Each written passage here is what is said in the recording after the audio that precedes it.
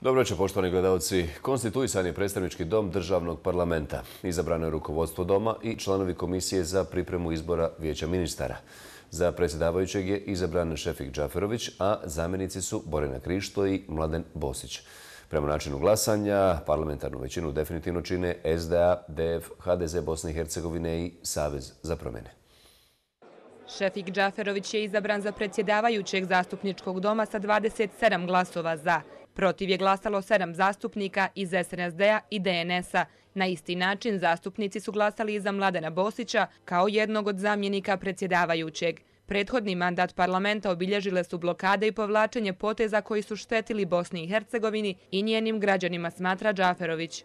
U tom kontekstu ja želim dakle, da ovaj mandat bude mandat u kojem će se stabilizirati politička scena u Bosni i Hercegovini, mandat u kojem će se deblokirati integracijski procesi Bosne i Hercegovine, jer znamo da Bosna i Hercegovina na tom planu ima trenutnu potpunu blokadu i mandat koji će, kao što sam već kazao, dati zamah ekonomskom razvoju Bosne i Hercegovine. Sa 35 glasova za i nijednim protiv kao zamjenica predsjedavajućeg izabrana je Borjana Krišto iz HDZ-a Bosne i Hercegovine. Za su glasali i zastupnici iz SNSD-a.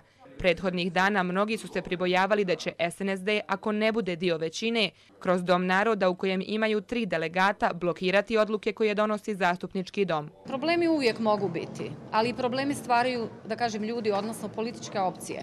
HDZ Bosne i Hercegovine stranke okupljene oko Hrvatskog narodnog sabora nikad nisu bili problem, oni su bili uvijek dio rješenja, to ćemo učiniti sada, kad je u pitanju i formiranje vlasti, a i svi budući procesi koji se tiču Bosne i Hercegovine, njene budućnosti i njenog evropskog i euroatlantskog puta. Pa ne očekujem problem. Ovdje se radi o tome e, da li neko politički želi da blokira procese. Ja vjerujem da niko u Bosni i Hercegovini ni SNSD neće krenuti e, putem daljih blokada, nego da će e, svi zajedno raditi u interesu građana. SNSD je sam donio odluku da će biti opozicija i to kako bi olakšali proces formiranja vlasti, kaže zastupnik ove stranke Nikola Špirić. Mi iz SNSD smo se odlučili da budemo opozicija, radit ćemo na našem programu, nekada se to nekom neće dopadati, nekada će naše odluke biti identične, ali gotovo je sigurno da sve ono što je konstruktivno, što je u skladu s ustavom i sa zakonom, imaće podršku SNSD-a. Zakon da su bili u zabli mnogi oni koji su očekivali destrukciju od SNSD-a. Sljedeći korak je imenovanje mandatara za sastav vijeća ministara, a zatim i formiranje vijeća ministara. Da bi do kraja mjeseca trebali imati predsjednika federacije, a u istom trenutku praktično i kandidata za predsjedavajućeg savjeta ministara. Uvjereni smo da bi to moglo biti do kraja ovog mjeseca, a da bi cijeli proces konstituisanja savjeta ministara mogao biti završen do kraja januara, odnosno u prvi desetak dana februara.